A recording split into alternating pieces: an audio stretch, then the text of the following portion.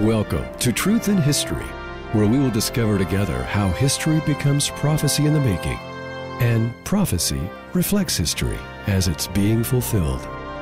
Now, here's your host, Pastor Charles Jennings. Welcome to the program and to our teaching series concerning the abomination of desolation.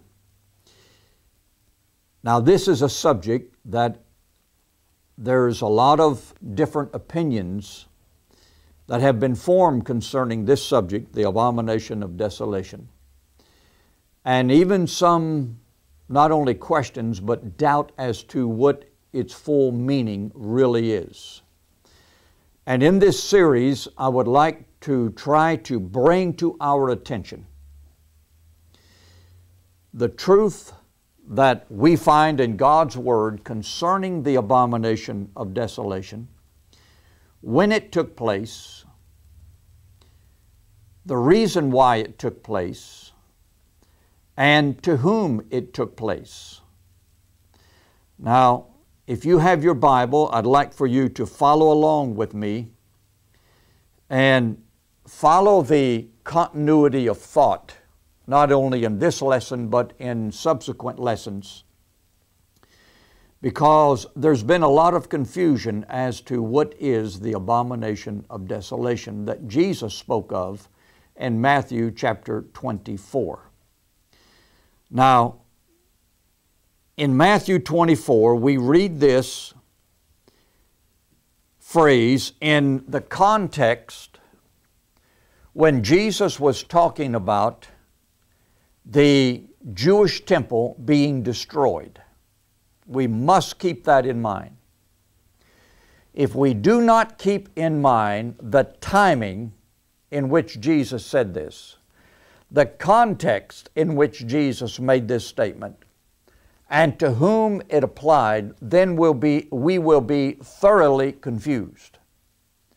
So in Matthew 24 and beginning with verse number 1, and Jesus went out and departed from the temple, and his disciples came to him for to show him the buildings of the temple. That's the setting. This is the very end of the teaching ministry of the Lord Jesus. And the disciples are wanting to show him this magnificent edifice.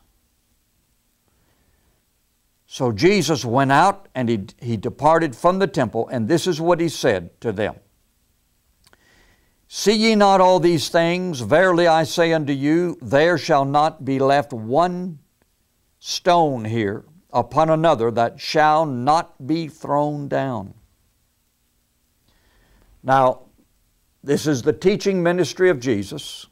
It's the very end of his teaching ministry. And they're at the temple. Jesus comes out of the temple. He looks back more or less and says, See all these things, see this temple? It's coming down. Now, what did the temple represent? The temple represented the ceremonial law structure that was in the Old Testament. It represented the whole religious order of that day, which was perverted Hebrewism. And you notice I said perverted Hebrewism because at this time in history, in the first century AD, it was known as Phariseeism or Judaism, and it had become perverted, it had become corrupt, and it's about time that the whole system was to be destroyed, actually destroyed. So, this word abomination, first we need to define what it means. And I'm going to read from this Wycliffe Bible Encyclopedia and just a, a brief definition. This is what it says The chief idea represented in the Hebrew words is revulsion at great wrong in religious matters. Since there is only one true living God, an invisible spiritual being without bodily parts, all forms of idolatry and all ceremonies and objects connected with idolatry are abhorrent to God. That's the definition that the Wycliffe Bible Encyclopedia gives to the word abomination. It's an avulsion to idolatry. It's an avulsion to not only idolatry, but wrong ideas, ceremonies, objects, icons concerning worshiping the one true and living God. There is a relationship that we have with the Lord Jesus Christ, and it's not through physical objects or ceremonies, but when we bring something in that is revolting to God Almighty in our worship to Him, then it's an abomination. Going back to the book of Proverbs, we read these verses. Proverbs chapter 15, verse number 8. It says, The sacrifice of the wicked is an abomination to the Lord. The sacrifice of the wicked. In other words, this word wicked means lawlessness. The sacrifices of the lawless is an abomination to the Lord.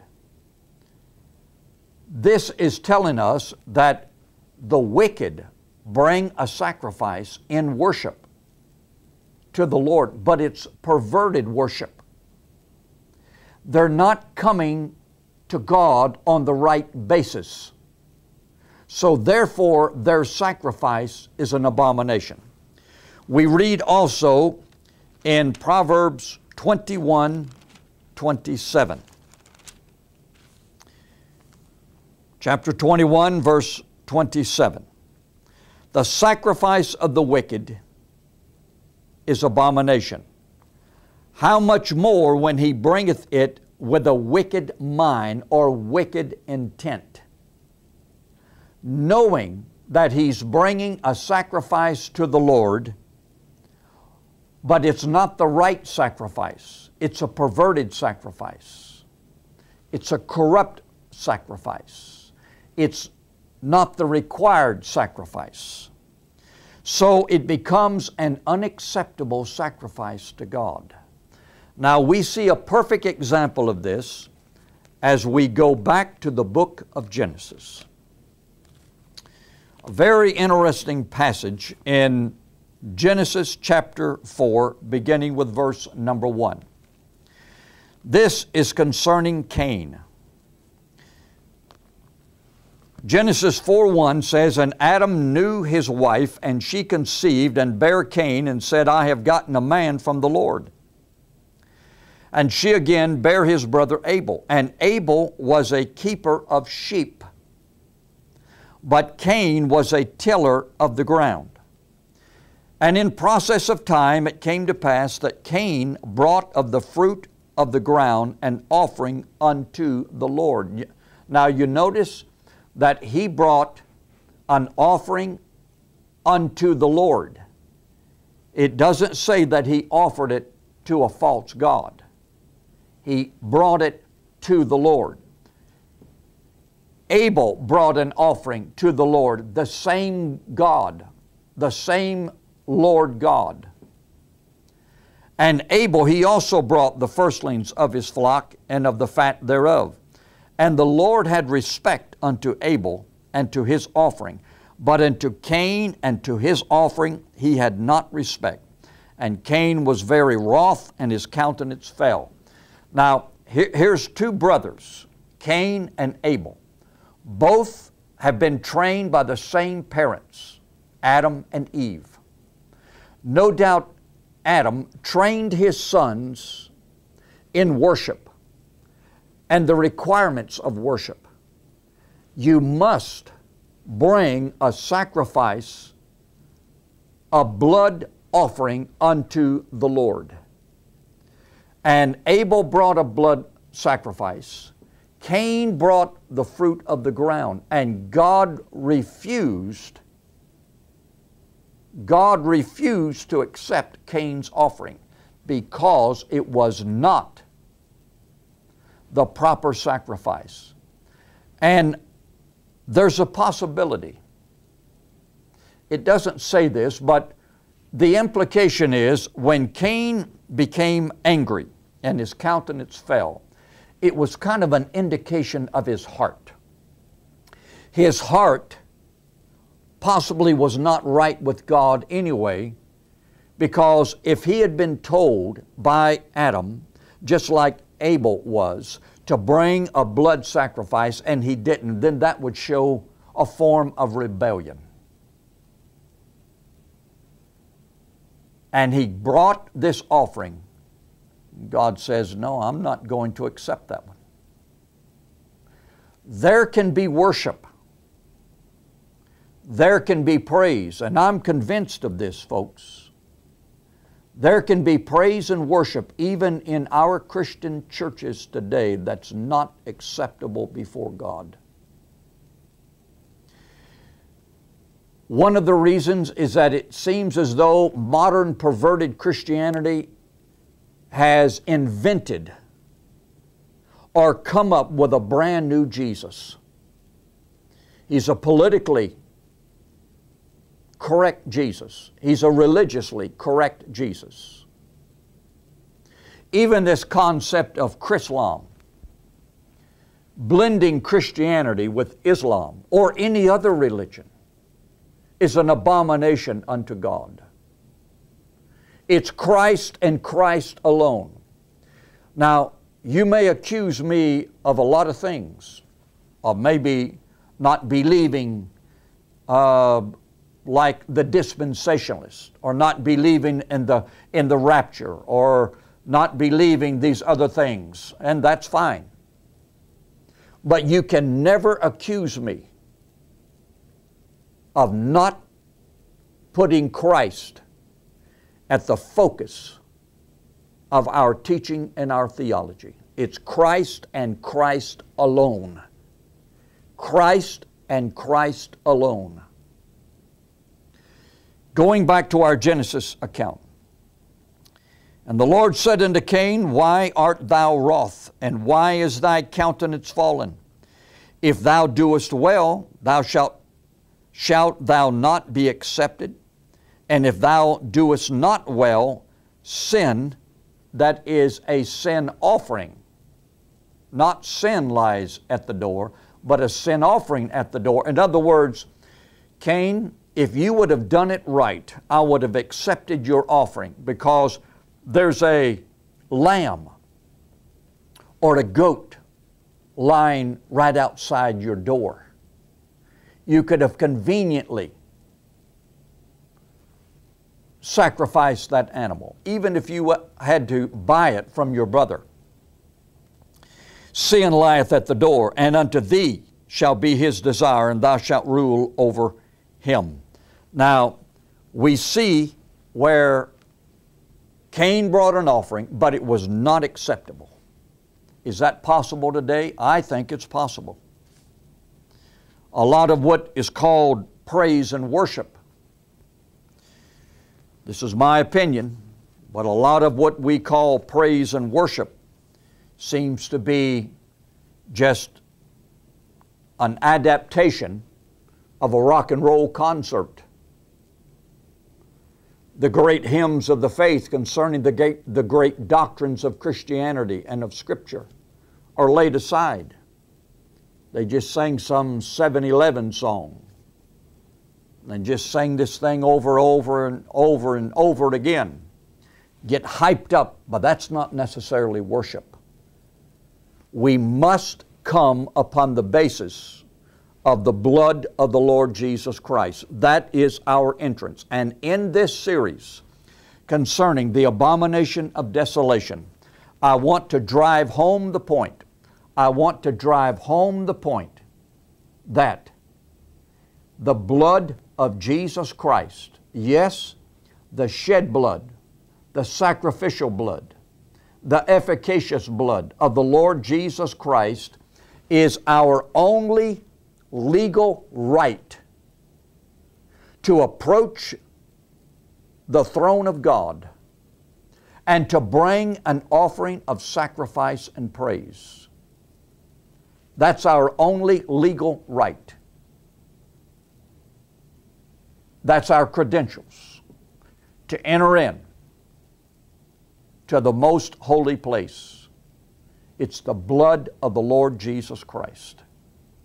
That pure, unadulterated, perfect blood of the perfect Son of God, the Lord Jesus Christ. And when we get to the end of this series, you will see why I stress this point that it's the blood of the Lord Jesus Christ that was despised, that was rejected by the people of his day in the New Testament.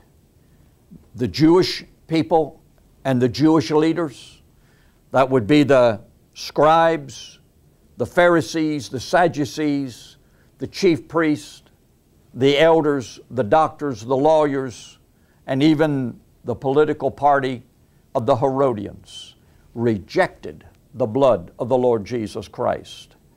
And that's what brought on the desolation of the temple. And we will see that when we get to the end of this series. But I want to be clear and plain because this is the critical thing. As we see in Genesis chapter 4, the blood of an animal. The blood had to be shed under this Adamic mandate in the Garden of Eden. And it was blood of the pure, perfect, sinless Son of God that was shed in the New Testament under the terms of the New Covenant to purchase our salvation. And the rejection of that blood of the Son of God. It was the outright rejection of that blood that brought on the desolation, the destruction. And I want to make that very obvious and clear because in this book that we call the Bible, there's that, as one man said, there's that red thread of blood that runs through this whole book. And that blood, whether it be under the Old Covenant or under the New Covenant, it was blood that was man's only means to transact business with God. It's the shed blood, the only legal means whereby man can transact business with God. And I might say this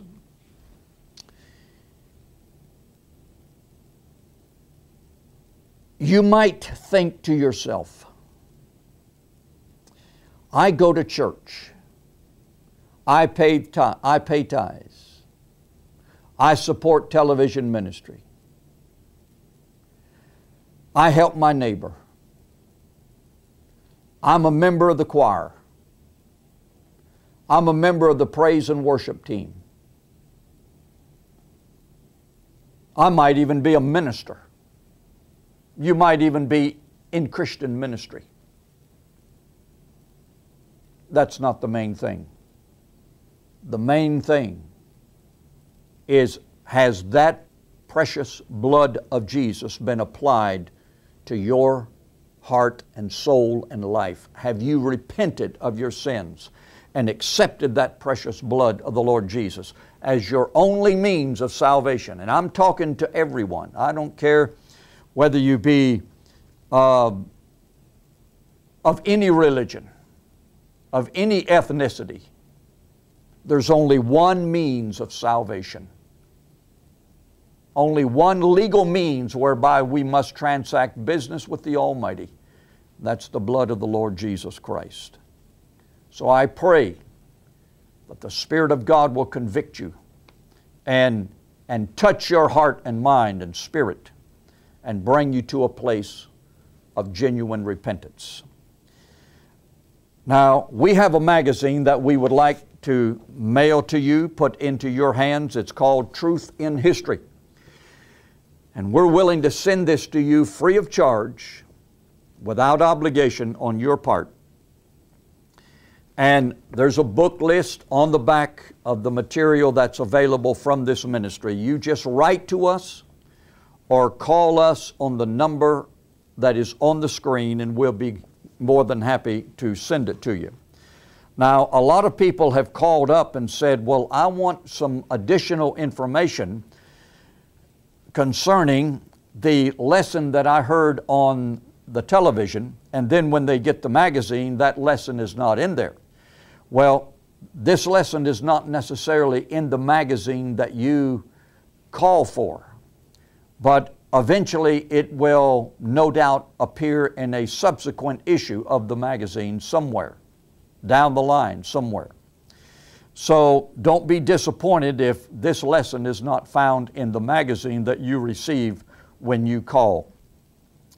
So, going back to the word abomination, according to Strong's Concordance, of which many of you have a Strong's Concordance, there are basic words that are translated abomination, and this is what they mean disgust abhorrence, idolatry, filthy, and detestable.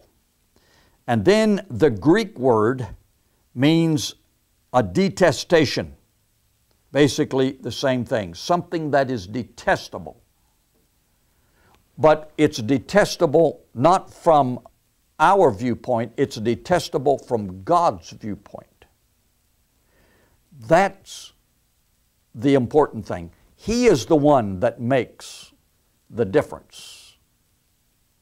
He is the one, He is the one that found idolatry so detestable in the Old Testament.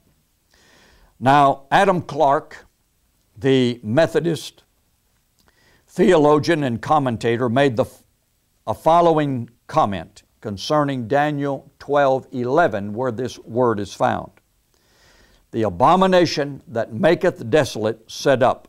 He said, I believe, along with Bishop Thomas Newton, that this is a proverbial phrase and may be applied to anything substituted in the place of, listen closely, substituted in the place of, or set up in opposition to the ordinances of God, His worship, or His truth. I want to read that again. Adam Clarke said, I believe, and then he concurs with Bishop Newton, that this is a proverbial phrase and may be applied to anything substituted in the place of or set up in opposition to the ordinances of God, His worship, and His truth. So, when anything is offered to God, in opposition to himself, his word, his truth, or a paganistic form of worship. And when I mean paganistic, it doesn't necessarily have to mean a form of worship that is practiced in some heathen land somewhere. Because we see an example of this in 2 Kings chapter 12, verse 2 and 3. This is during the reign of Joash, the king of Judah, or Jehoash, same man. And Jehoash did that which was right in the sight of the Lord all his days, wherein Jehoiada the priest instructed him.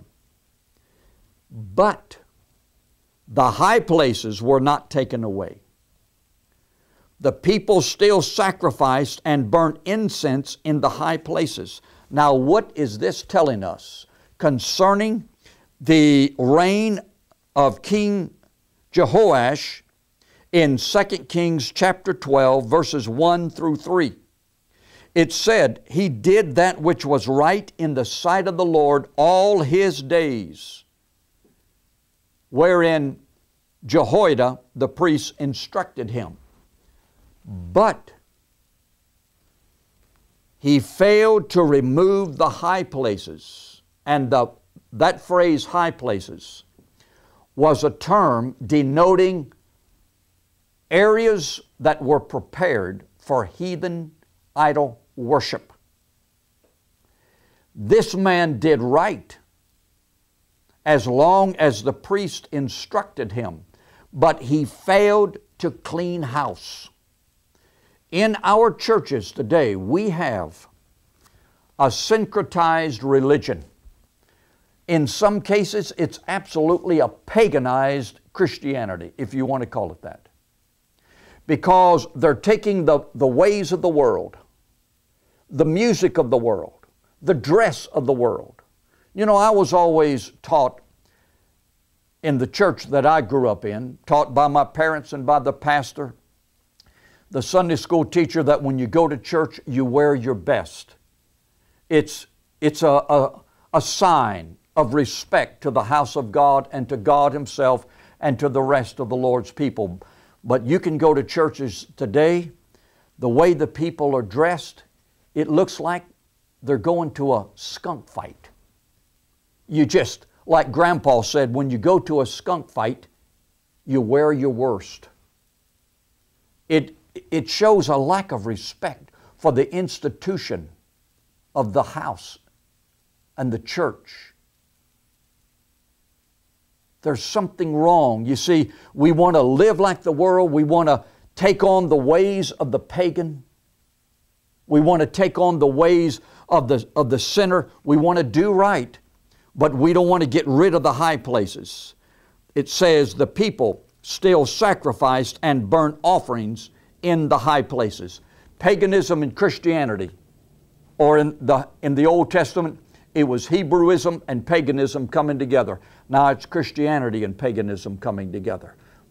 Folks, it's time that we clean house, that we do right, but separate ourselves from the paganism that has invaded our country and invaded our churches, and walk circumspectly before a holy and a righteous God. I pray that the Lord will bless you as we continue to teach concerning the abomination of desolation. God bless you.